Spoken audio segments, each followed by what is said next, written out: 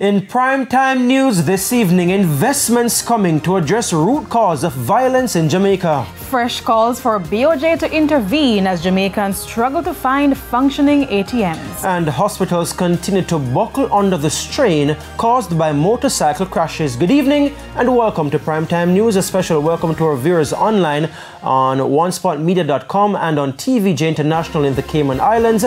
I'm Giovanni Dennis. And I'm Kalisha Williams with a preview of what's to come in the financial week. Here's Javon Keys.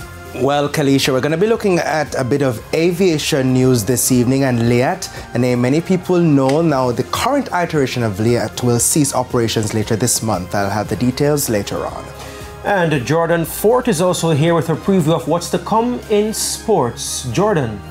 Uh, well, Gio, more reactions this evening, or reactions this evening, uh, to the statement put out by Cedella Marley that she has resigned, of course, as global ambassador for the Reggae Girlz, and that the Bob and Rita Marley Foundations will cut funding toward Jamaica's women's program immediately. There's also discontent from Raymond Anderson's team towards the Electoral Committee uh, just a few days ahead of the JFF elections. I'll tell you all those details in Primetime Sports Friday.